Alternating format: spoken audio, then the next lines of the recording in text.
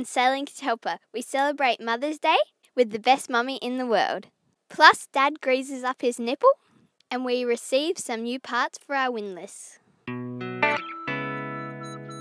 Anyway, this is the box from Tasmania, which contains our gearbox and motor. And we have another box, which contains our gypsy. And we have another box, which contains our solenoid. We're yet to open it all up and see if it all works. But, uh, fingers crossed, and we're waiting on one parcel which didn't quite get there in time, It missed it by 24 hours. which is a manual override handle which Doug's made up, and a few bits and pieces and deck switches so we can have forward and reverse on the uh, anchor winch. But it's here and we are just so excited because I will have a. Lee's just been wanting to know if it's going to work or not.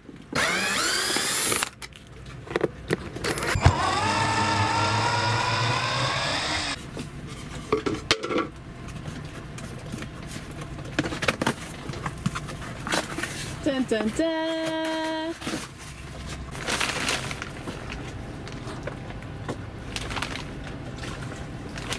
Looks the We'll same make to it me. work.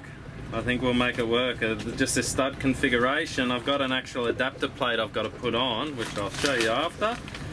But uh, I just got to remove this plate, get rid of that, I don't need it, and we've got an adapter plate that goes on here. And it's the same stud configuration, so that's, we'll see how we go when we uh, pull this off. Thank you, Doug's dad. Thank you. So long, long story. I suppose we've got to start the story somewhere along the line. Start the story, babe. I might as well start it.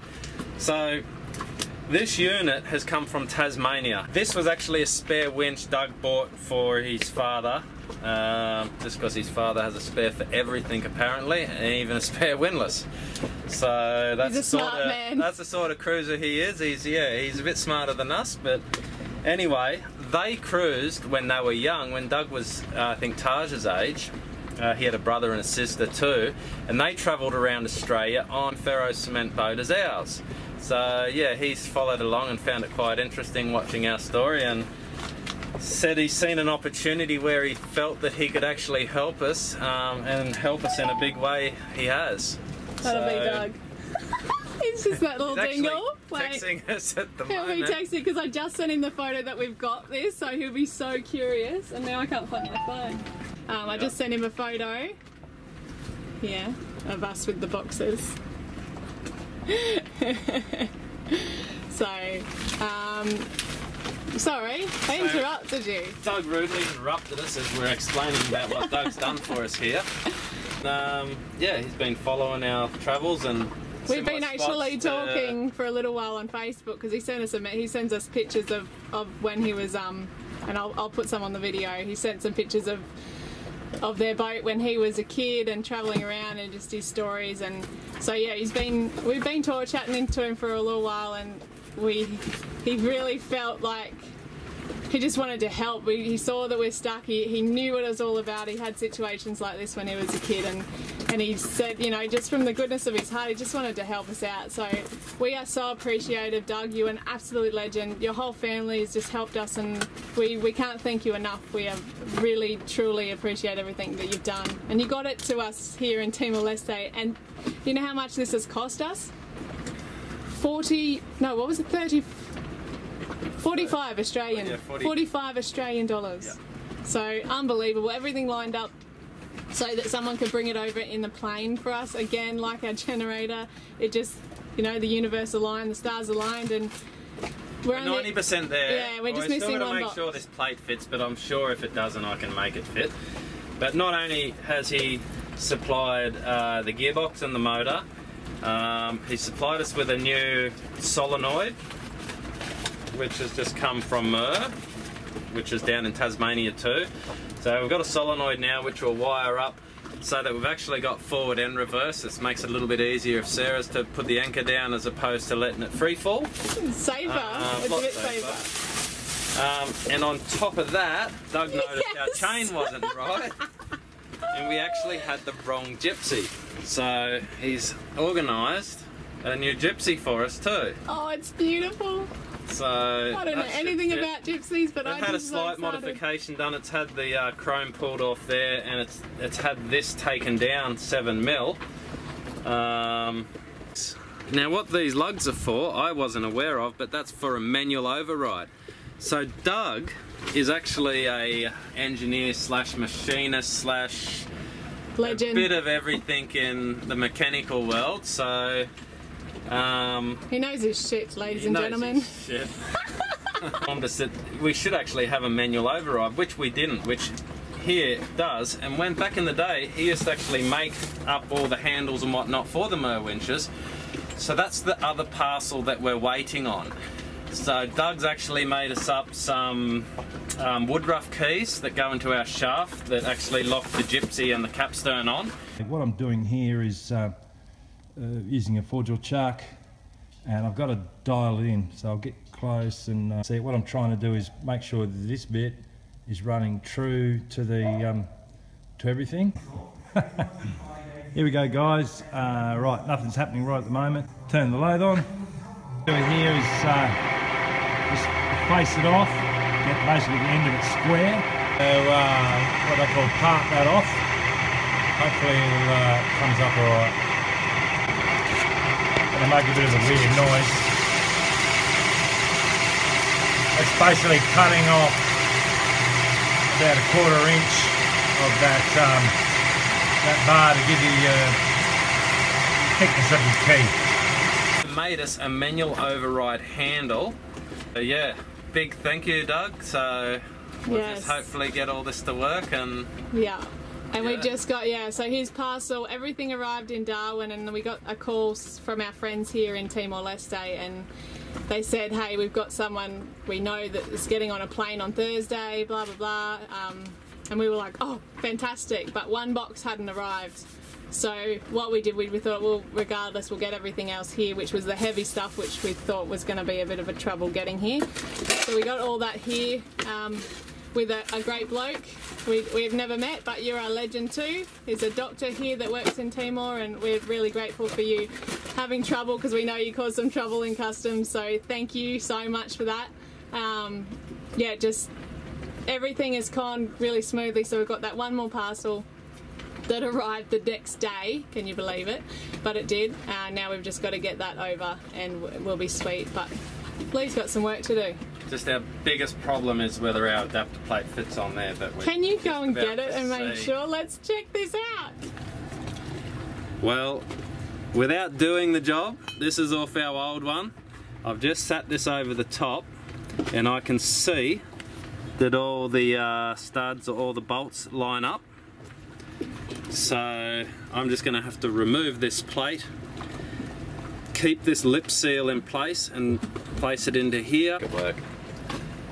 So, um, in saying that, just looking at it, I, it's going to work, I would say, guessing. We'll see no more once I start on it. So this is our new motor, new gearbox. This is our old motor, old gearbox. So inside the gearbox, that was obviously the worn out teeth. Um, what needs to happen though, is this here is the adapter plate. So I have to, I'll be keeping this out of the old stuff. So we'll put that with our new stuff. Um, so these bolts here will be removed. And if all goes right, this here will be our adapter plate. This is our old Gypsy, which is designed for a long link chain. And we've got our new one for the short link. So I'll be switching that out.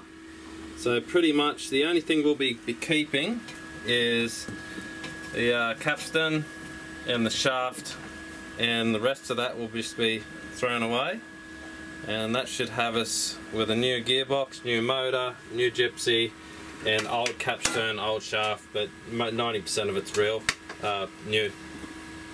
So there we go. So first problem when I've just assembled this roughly is this needs about 5 mil clearance here so you, you can get a few threads on. No biggie. I should just be able to cut this sleeve down 5 mil is what it is and that'll lock on and tighten up properly. It's only just got a couple of threads so I'd like a few more threads. First problem ah. Lucky you're a problem solver. It actually needs, this is actually needs sleeving out in the middle. It's actually a little bit loose, but it's sitting on um, the top hat and the cone piece squares it up. So it'll be right for now, but at some stage I'll have to get a sleeve made for it. So I've actually got a, I don't have another gasket obviously, so I've just got to be really slow and take my time here. Um, I don't want to damage this gasket because I want to reuse that and I obviously don't want to damage this lip seal which uh, keeps all the oil inside here. Right. Oh, beautiful. So there we have it. The lip seal in here I'll have to reuse.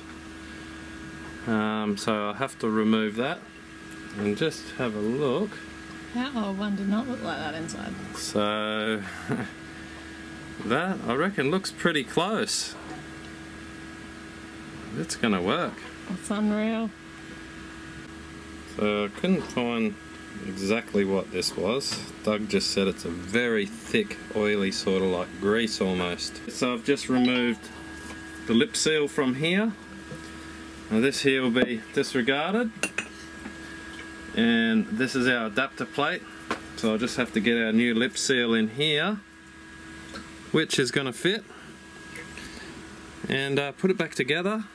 Um, He's just very good with his hands. Yeah, you are. But, uh, we'll get this back together in a minute. But I've got the lip seal back in here. So now it's just a matter of reassembling it. I've just got to check the stud configuration that comes through the, the deck and uh, I'd say it's going to fit. Next all I'll do is uh, I'll get those leads out and I'll test the power. Just thought I'd test this motor out before we actually install it. So I'll just throw the negative on here. Um, so I've got two here, which will be forward and reverse. So we'll start with this one. Okay, so we're going clockwise now. She's working. Beautiful. What have we got? Reverse too. Anti-clockwise. Bit of torque there. Nice. Well, that's it. We have an anchor winch. So we're just putting our uh, terminals on here. So I just put them on, give them a little crimp, and I've been giving them a little bit of solder too, just to seal them up because they're only copper, they're not tinned wire. A um, little bit of heat shrink over them, and there you go, ready to uh, install from our motor to our solenoid unit. All sealed up. Hopefully minimise the corrosion. So we're going ashore today. We're actually going out with our friends Joe and Brian and the kids, and uh, we're going to go to a beach, see some stuff around Dili, and um, yeah, just get off the boat. We're pretty excited about that. So should be a good day.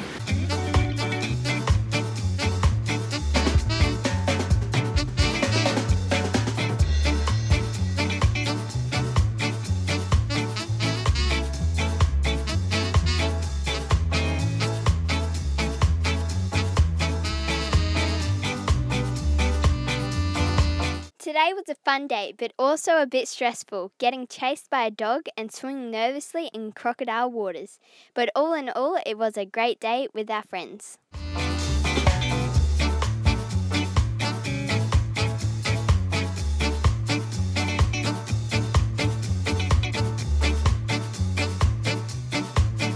So we're just sitting here with our friends, Joe and Brian. Hello. Hi everybody. Having a very nice time. Having some drinks. Cheers Timor Leste. Cheers guys. Cheers. Cheers.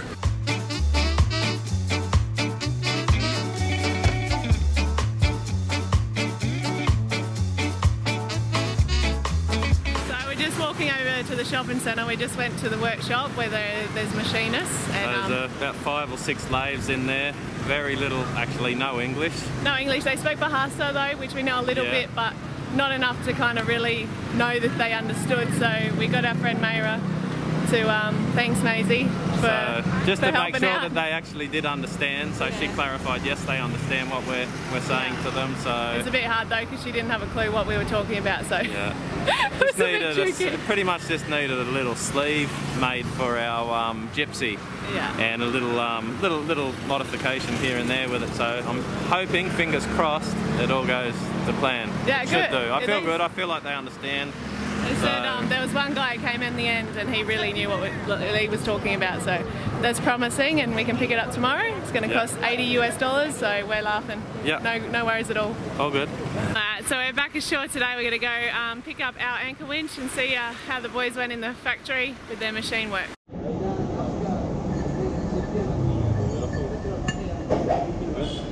Just pick up our windlass and uh, Lee's really happy with the job. So. Yep, done a good job. So here's the sleeve that we got made up here. So there's like about a three mil sleeve. And the top hat section here didn't actually sit in properly, so they shaved the edge down for me. So that sits nice and flat. They did a brilliant job. So we're in action again. We're just waiting for two Woodruff keys, which Doug's got waiting in Darwin for us, and we're awaiting somebody that's coming over um, by plane. So it's sort of like a new old Gypsy. It's a new motor, new gearbox, new Gypsy. The only thing that's old is the shaft and uh, the capstan. All the important parts are new. Yep. So that's where we're at. So now we're just gonna sit it out and wait for our next next parcel.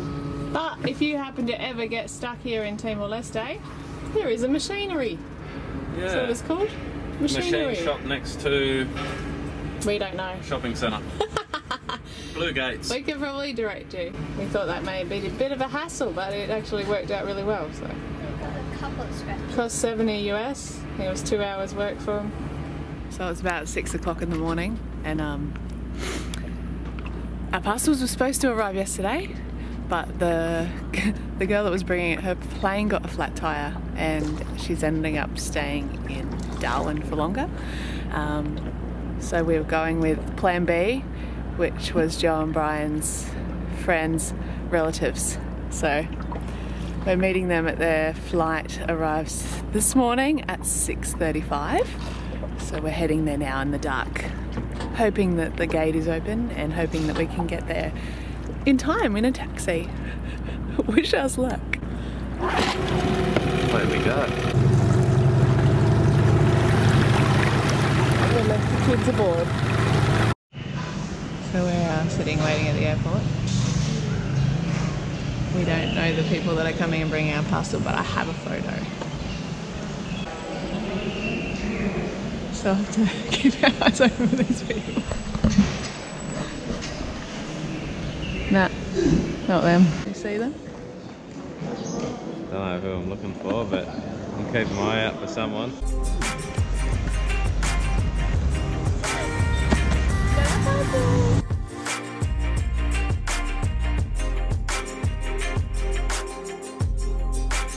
Police compound is where we leave our boat. It's nice and safe, we think.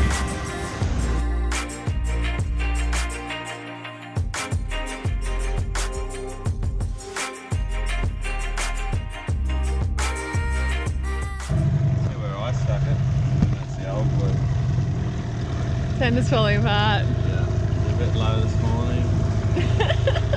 Still afloat. For now, anyway. Isn't it a beautiful morning? Let's see if the kids are still asleep. Or shall we pretend to be pirates? Let's have a look in Arden's window. I can't see.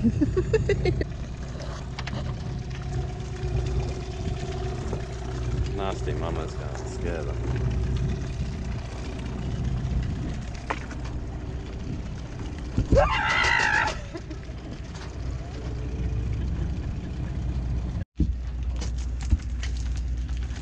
Children are awake.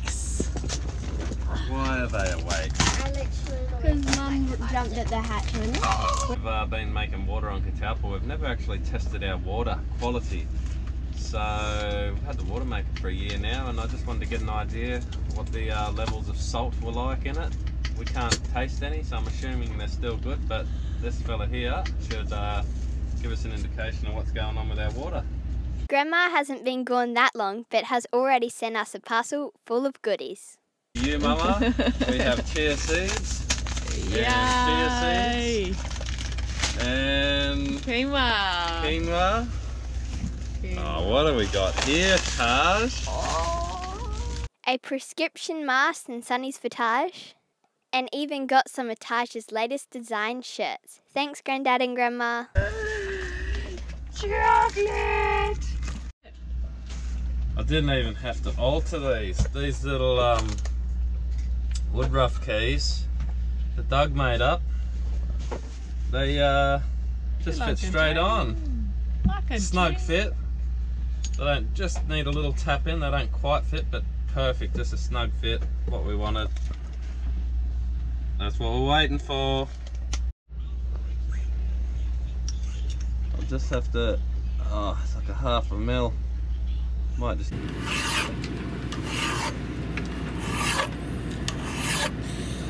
So, uh, Doug was close. He got the actual fit right. I think he was about half a mil out on our height, so I've just had to file that down a little bit. So, it's all good.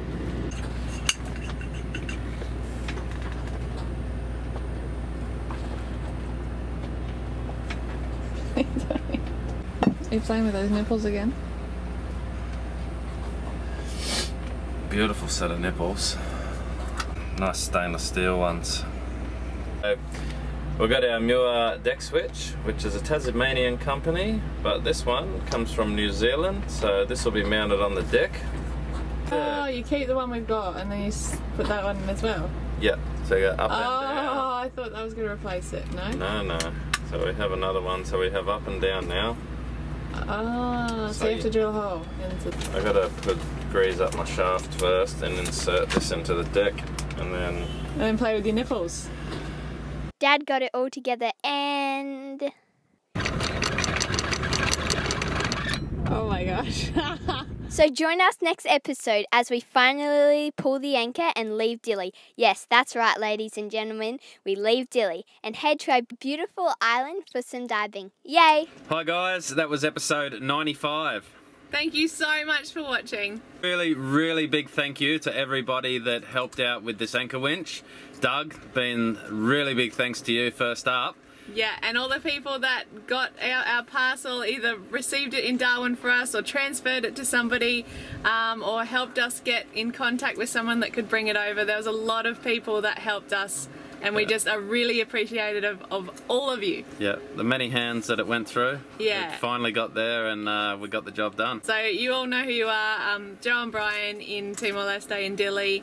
Thank you so much for your help. From Doug's father Doug, yeah, to his Doug's brother father to, to Doug's brother Robert in Darwin. You were a massive help as well, mate. Thank you. you to Les, Leslie and Sam also. Yeah, Uh, in Darwin, you guys yeah. were a big help um, and have offered to help in the future too. So we really appreciate it. To all of you, thank you so much. We are finally on our way again, and we couldn't be more stoked. Yeah. Yeah, so if you want to see where we actually are right now in real time, you can follow us on our show's social media Instagram down below, Facebook. at Sailing Catalpa. Uh, we post regularly on there so you can see what we're up to. Also, if you want to become a patron or see what being a patron is all about, you can head to our Patreon page. If you want to know more about that, the link is down below as well. Yeah. Also, if you want to look as cool as Lee right now and get one of our t-shirts, Sailing Catalpa, then the link is down below as well. Check them out! Yeah! but we just want to say Big thank you. so much thank yous, and we'll see you next time. See you then. It all comes all thanks to you all.